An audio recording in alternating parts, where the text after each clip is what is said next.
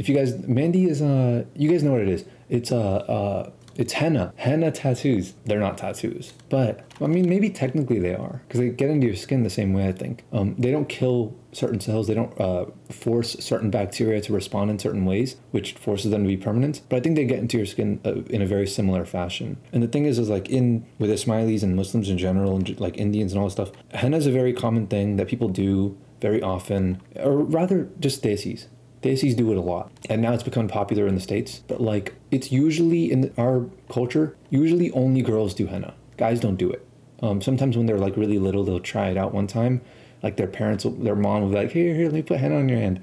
But that's that's really it. The guys don't ever do henna when they're older or anything like that. And it's crazy because like I'm so good with henna. Like I have a fucking gift, bro. Here, look, look. Like I know what the hell to do, bro. I'm better. I'm actually better than old ladies who like do crazy, crazy designs like this. They'd be super precise, by the way, because it's a cone with a pencil and it like sprays out this like it's like frosting in the way that it is. It's like you're applying frosting to a cake. And anyone who's applied frosting to a cake knows there's no erasing it. The moment it shows up on there, and you have to make like very thin lines and all this stuff. So be very, very precise. See, you won't find any dude's hands on here. It's it's like a it's a female thing generally. But there's a lot of complex designs, and girls spend hours, hours doing this. Where like, especially if uh, when girls get married, they do it to their whole arm. Yeah, they do it like this, the whole thing. This is black henna, so nobody does this nobody does black henna anymore. It's it's not good for your health. Like this is not. You shouldn't do that. Just a word of advice. You want henna to look.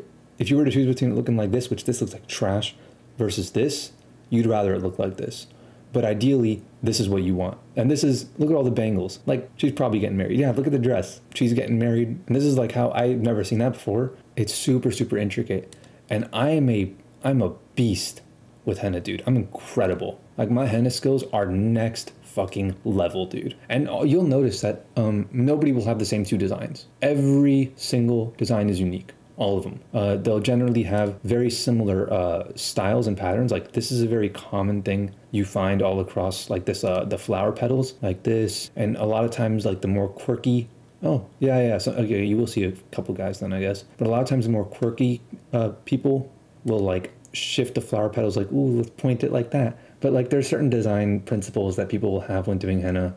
Um, I don't follow any of them though. I literally used to put henna on my on my arm every year, and uh, my mom saw me do it, and she saw me like draw like a dragon and like a super complex flower, like a rose, and like the goddamn cover for Legend of Zelda Ocarina of Time with like crazy pinpoint accuracy. For a few years, my mom like realized this and she, she didn't go to the old ladies, she didn't go to the aunties to, to have her mehndi done. She came to me for it. I only put like a little bit of mehndi on her every year, like only like small designs here and there. I'm sure I got I got pictures. I'll have to look for it, but I'll, I'll show that a different day. But um, when I was at camp, I only did like a little bit of mehndi for myself, which like the guys were allowed to do, and like a few more guys actually did do it at camp because it's like, hey, might as well, you know, got nothing else to do during this time, during this like one hour where these girls are doing this and we had the cones for it. So, but I didn't I didn't want to draw too much attention to myself, and I didn't want people to see my arm. So what I did is I wrote ATL ho in a giant font uh, on the inside of my arm. So even though my I'm saying giant font, it was giant font, but I was pretty slick at hiding it,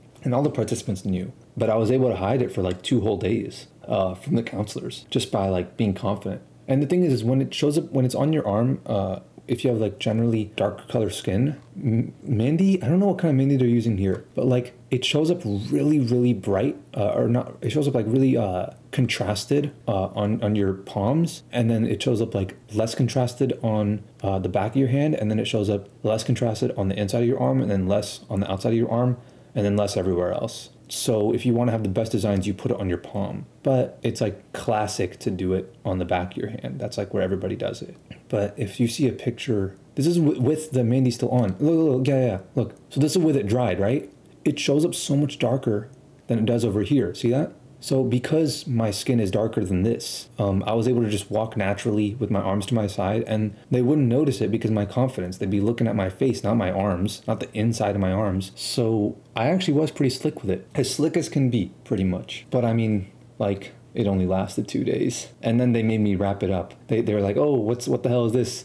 And by the way, henna stays in your skin for like shit four weeks or so, depending on how much you wash it. You you can wash it as much as you want. The the smallest amount of time it will it will uh, stay in your skin, the quickest you can get it out is like I don't know three weeks. That's like the earliest you can get it out, no matter how quickly you wash it. So it it lasted for like another one to two weeks um, after I got out of camp. It doesn't matter. Like you can wash, scrub, dry. You can try. Oh, there's so many different methods that people have tried, uh, and it only marginally works. It will stay in your skin. I've had henna actually stay on my skin for uh, it, like embedded deep within it for like a month and a half. So um, yeah, my dumbass didn't realize I was going back to Atlanta with ATL Ho written on my hand.